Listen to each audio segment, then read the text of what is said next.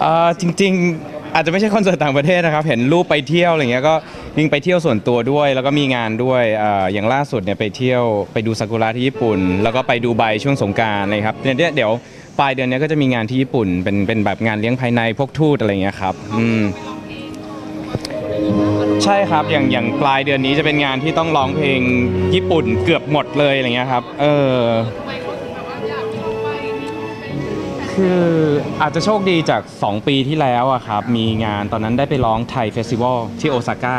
แล้วพอดีเราก็เป็นเป็นนักร้องคนเดียวตอนนั้นที่แบบพูดญี่ปุ่นได้อะไรเงี้ยครับเออเราก็แบบ entertain เขาเป็นทั้งภาษาไทยทั้งภาษาญี่ปุ่นสลับกันอะไรเงี้ยเขาก็อาจจะแบบชื่นชอบเราจากตรงนั้นอะไรเงี้ยขวัญใจสาวอยู่ใช่ไหมตอนนี้โอ้คงไม่ขนาดนั้นครับทำที่โน่นแล้ว มีมีแฟนเพลงเบอร์มาติดตามบ้างครับ แต่ว่าไม่ได้เยอะนะไม่ได้เยอะต้องออกตัว เพราะว่าตอนนั้นงานมันก็ไม่ได้ใหญ่ขนาดนั้นอะไรเลยครับอืม ใช่ใช่มีคนญี่ปุ่นเอาเพลงไปร้องด้วย รักเธอคนเดียวเนี่ยก็ร้องได้อะไรเงี้ยครับอะไรนะครับปลื้มมากครับปลื้มมากแล้วอย่างตอนที่เมื่อต้นปีที่ผมจัดเป็นเอ่องาน Exclusive Live Fan Meeting เนี่ยครับก็มีคนญี่ปุ่นบินมาดู เออเราก็แบบดีใจมากอะอืม ฐานแฟนๆ ตอนนี้เพิ่มมากขึ้นกว่าแต่ก่อนเพิ่มมากขึ้นครับ ยิ่งยิ่งจากเพลงล่าสุดด้วยอะไรเงี้ยที่เออ feedback มันค่อนข้างดีอะไรเงี้ยแล้วก็ทำให้หลาย ๆ คนที่บางคนไม่เคยฟังเพลงผมอะไรเงี้ยก็มาฟังมาชอบอะไรเงี้ยครับ โอ้โหใครเพลงเมืองนอกอะครับ คงไม่กล้าฝันขนาดนั้นหรอกครับ จริงๆ สัญญาแกรมมี่อีกหลายปี คงคงไม่ได้ย้ายไปที่ไหนด้วยแหละครับ อืมงานที่นะคะเพลงผลงานตอนนี้ก็ก็มีเนี่ยแหละครับ รักเธอคนเดียว ซึ่ง feedback ก็ก็ค่อนข้างดีทีเดียวก็ต้องขอบคุณทุกๆคนมากๆนะครับ ก็ไปที่ไหนก็เริ่มแบบคนร้องได้แล้วก็แบบติดชาร์ตเยอะแยะอะไรเงี้ยครับ ก็ เอ่อเป็นกำลังใจมากๆครับในการทำเพลงต่อๆไป ซึ่งเนี่ยเดี๋ยวปลายเดือนเนี้ยเดี๋ยวผมจะปล่อยเพลงใหม่ละแต่เป็นเพลงเป็นซิงเกิลพิเศษ ปล่อยคู่กับต้นและเป็นเพลงประกอบซีรีส์ Love Sick ครับก็เราแต่งคำร้องทำนองกันเองเลยญี่ปุ่นไปบ่อยมีข่าวไปแบบไลต้าไลก้อนอะไรนะครับ ข่าวยื่นแบบนี้ต้องโหก็หวังว่าจะมีบ้าง แต่ไม่มีครับไม่มีก็จริงแล้วก็มีมีแต่คนที่มาติดตาม แต่ผมคิดว่าน่าจะเป็นแฟนเพลงมากกว่านะเขาคงไม่ได้มาพิศวาสเราในในขนาดนั้น สเปคเรา สเปคอะครับเรื่องจริงๆเรื่องหน้าตาไม่ไม่ค่อยมีเท่าไหร่แต่ชอบชอบคนที่แบบมีความเป็นผู้ใหญ่เอ่อมีความมุ่งมั่นในชีวิตอะไรอย่างเงี้ยอ๋อนี่ชี้ชี้อยู่อะเดี๋ยวเดี๋ยวเดี๋ยวส่งแลกเบอร์กันนะฮะหลังจากนี้นะเอ้ยจริงๆไม่ไม่เคยคบฝรั่งนะครับจริงๆไม่เคยคบฝรั่ง ส่วนใหญ่ก็จะเป็นคนเอเชียอะไรอย่างเงี้ยครับที่เคยเคยคบคบกัน ญี่ปุ่นนี่มีสิทธิ์สูงกว่าชาติอื่นไปก่อนที่เล็งกันบ้างเลยอะไรนะครับไม่ได้ไปก่อนที่ก็เล็งไปบ้างคงไม่ไม่ไม่ขนาดเล็งหรอกครับ แต่ว่าอ่า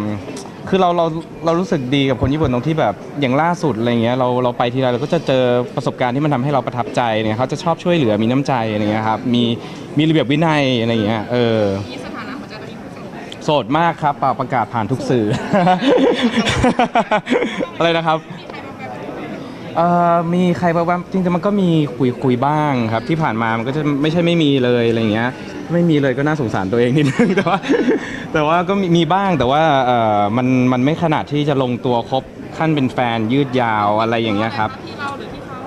ก็คงทีมันก็ต้องทั้งสองฝ่ายเลยเนาะในเรื่องความสัมพันธ์อะไรเงี้ยแต่ว่าส่วนหนึ่งเราก็เราก็รู้สึกว่าเอ่อการที่เราทำงานตรงเนี้ยครับ มันเป็นอะไรที่คนจะมาเข้าใจยากมากอะเรื่องเวลาอะไรต่างๆ เรื่องอะไรเงี้ย อะไรนะครับ ตอนตอนนี้ไม่ได้มีครับ ตอนนี้ไม่มีตอนนี้ไม่มีใช่ครับ แต่ที่ผ่านมามีใช่ใช่ก็เหงาบ้างโหอย่าถามแทงใจดำสิพี่ขอดูเรื่องงานก่อน ขอลุยเรื่องงานก่อนแล้วกันครับเพราะว่าปีนี้ก็ก็แน่นพอสมควรครับผม มีละครเวทีด้วยใช่ไหมใช่ครับ เดี๋ยวกลางปีมีละครเวทีเรื่องเออวันสละโสดกับโจทย์เก่าๆ อันนี้เป็นครั้งแรกที่ร่วมงานกับทางรัชดาลัยด้วยครับ ก็โอ้โหตัวจี๊ดเยอะมากครับไม่ว่าจะเป็นแกงส้มออฟปองศักดิ์พัชชา เอ่อใครอีกอะอาร์ The Star เนี่ยเยอะแยะเลยเพละครเวทีเอิ่มละครเวทีอะครับก็สำหรับผมมันยากกว่าร้องเพลงธรรมดานะ เพราะว่ามันมันต้องมีการ acting เข้าไปด้วย ซึ่งแต่ว่าก็โชคดีคือเราเราเคยทำมาบ้างอะไรเงี้ยครับเรื่องนี้น่าจะเป็นเรื่องที่สี่แล้วมั้งที่เล่นอืมครับผม